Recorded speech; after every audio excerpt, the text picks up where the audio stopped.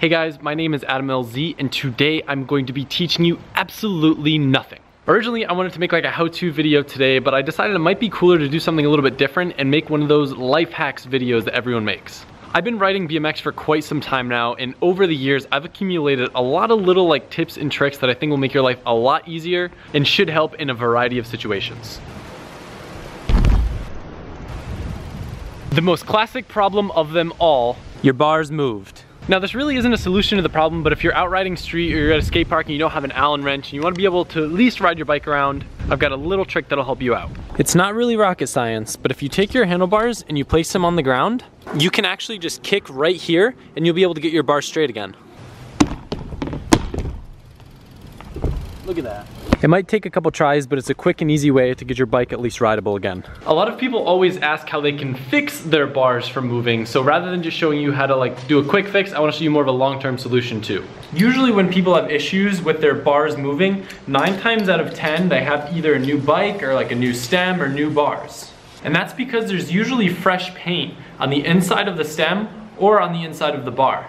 If you look, you can actually see dust from the paint wearing off on the inside of the stem, and because of that new paint, the bars tend to move and slip around a lot. You can have your dad or your macho uncle tighten down the bolts as hard as they can, but chances are it's not going to work or they are going to strip your bolts and you're gonna be left worse off than you were before. So my solution that works nine times out of 10 is just taking some coarse sandpaper and roughening up the surface that has contact with the bars. That way it has more to grab onto than just two smooth surfaces. In theory, you should make horizontal marks but I don't really think it makes a difference. If you can feel the little bumps with your nail, that's a good thing. See, look how shiny and smooth that is. That might as well be like soap. So we're gonna do the same thing to this as well. And if you wanna go crazy, you can also sand the bars too, although I don't think it's as necessary since it comes with these little grooves. Still though, you can see where the paint's already worn off from contact with the stem. Go ahead and clean all the dust off. Assemble it back together and you should be good as new. While you have your stem off, one other thing that you should probably pay attention to is the gap. When you're tightening down, make sure you have an even gap both here and here because if they're not even, you're gonna have like an uneven clamping load and your bars might move. Just in case you have a hard time lining up your bars with your forks, one more tip I will give you is to use your forks kind of as a guide to line your bars up with. I'll usually run mine parallel with the forks or slightly forward because I'm a taller guy, but it makes it way, way, way easier to find the right spot. All right, now next we are gonna move on to something much more simple, and this is one of my biggest pet peeves ever. Throttle grip.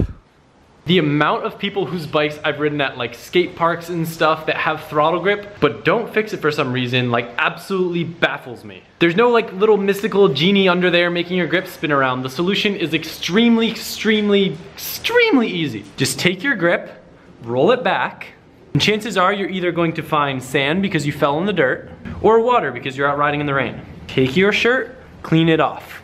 Roll the grip back, and just like that, no more throttle grip.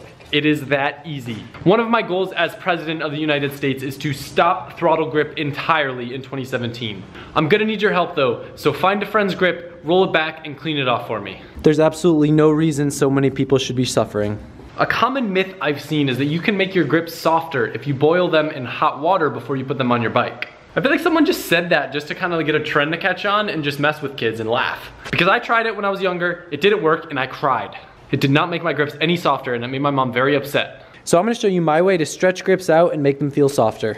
It doesn't really matter whether you use the compressor method or WD-40. The first step is to get a little bit of hangover on the end of the grip. Once you have just a hair of hangover, we're gonna use some channel locks and lock them on the grips to keep them from moving. Now just use your WD-40 or your compressor and stretch the grips out. If you're using a compressor, be careful because you might explode the grip. So it might be handy to have something you can just poke a tiny itsy bitsy hole so it doesn't compress air in there. But look at how wide we just stretched this grip now. And if you feel a stretched grip, it's gonna feel way softer because the rubber's all spread out and you have like a wider area to grab onto. When you take the vice grip off, it will naturally retract a little bit and that's why we left that hangover there. As long as the underside of your grips and your bars are clean, you should never have to use any sort of glue or adhesive to keep your grips from moving. Although do note when you have stretched out grips, they may move and be more susceptible to throttle grip than if the grip is compressed, so remember to keep them clean. This next trick I use all the time. So what's another thing that we absolutely hate when it happens to our bike? That would be a loose chain. And often what happens is we grind on a ledge, we slam down on it hard, and the back wheel will move, resulting in a loose chain. The noise might bother you or your back wheel might skid, because it's rubbing on the frame. So I'm gonna show you a very easy way that you can get your chain to be tight again without actually having to have any tools. Line up your back peg with something hard like a pole or the edge of a ledge, and then just give it a nice good slam and that will usually do the trick, just enough to get you by. Usually you have to slam it pretty hard if it was enough to move your back wheel. So usually you have to slam it pretty hard to get the wheel to move back again and it won't really move unless you land hard on a ledge or something again. Another really common issue that people have is when they're trying to tighten their back wheel and keep their chain tight, it moves around because when you turn that little nut, it'll like go on the frame and it'll either move the wheel back or forward. So I'm gonna show you a little trick for that too. You could have a friend like pull on the wheel while you try to tighten each side, but that never really works. Start with both sides loose, then take your non-drive side, move it over so it's almost like touching the frame or like as far over as you can while kind of pushing it lightly backwards. Tighten that side, and then while you're tightening the other side, instead of having to push the wheel back, you can kind of just push the wheel over to the side and then tighten the other side.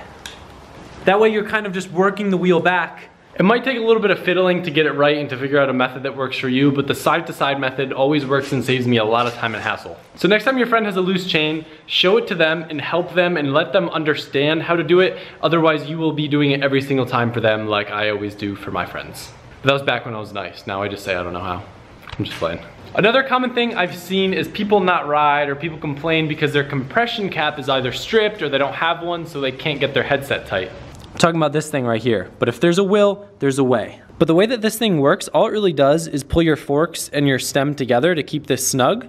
And then these pinch bolts do all the work after that. So you really don't even need one. It may look a little ugly, but you're fine to ride like this. So if your friend's whining because they can't ride because they have a loose headset and they don't have a compression cap, what you can do is take yours out of your bike, lend it to them so they can get their headset tight, tighten their pinch bolts, and then they can give it back to you. They can ride without a cap, and you can put your cap back in, and everybody's happy. Now, if none of your friends have a compression cap that you can borrow, or if you're like stranded at a park and you wanna tighten your headset, there is a way to do it without one, but it's kinda difficult. It kind of goes along with the same concept of not running a cap. Instead of using someone else's cap, you could like flip the bike upside down and try to put pressure on the forks by maybe like standing on them or something. But it's kind of difficult to get the pressure to be kind of even so you still end up with a little bit of a gap in the headset. Still better than nothing. I actually found that the best way I was ever able to do this was with the bike right side up in my dining room. I stood on the handlebars and pushed my hands up against the ceiling to compress everything down and had a friend tighten it. It worked Obviously not ideal, but if you need to get your headset tight so you can ride and you don't have proper tools or a compression cap,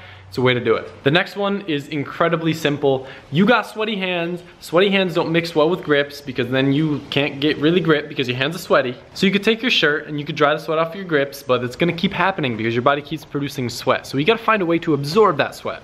I've seen people use baby powder. I've seen people use chalk but no one really wants to carry that stuff around with them. So if you're out riding the street and you need your hands to dry up from all that sweat, or if you're at a skate park or something, one of the best things to do is to just take a little bit of sand, rub it in your hand, and it'll absorb the sweat. Now, if you're using sweaty hands as an excuse not to do a trick to your friends, act like you never saw this video because that little bit of dirt or sand on your hands will help incredibly. The next life hack that I wanna show you guys, I'm actually not gonna show you guys because I'm lazy, I don't wanna do it, and I have no reason to do it, but I'll explain it. If you ever get a flat tire and you need need to ride home, there's a trick where basically you take both sides of the bead off of the rim. So the rim is kind of like inside of the tire and you're able to ride home with that like thin layer of rubber underneath the rim because it's a lot easier than having the rim actually on the bead and having like the tire sponge around underneath it. A tire normally looks like this when it's on the rim, but when you get a flat, this piece kind of sponges down and then wobbles to the side if you try to ride home. So the trick is to basically take the tire off the bead.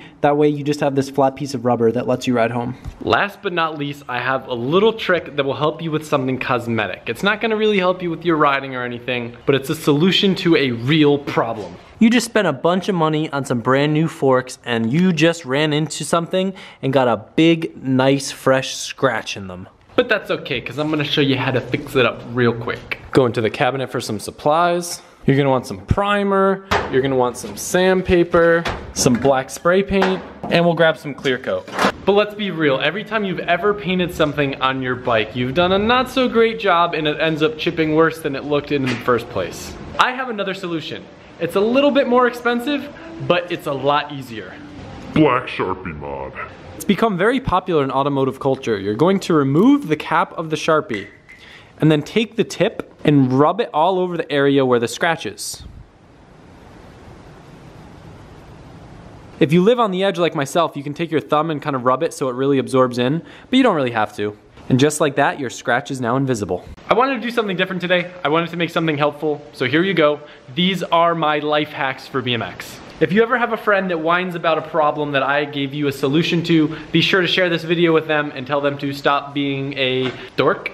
I don't know, just tell them to watch my video. If some of this stuff was helpful, be sure to leave a thumbs up and let me know in the comments what you would like to see me do for next video. You guys are awesome. I hope you had a great weekend and I will see you tomorrow.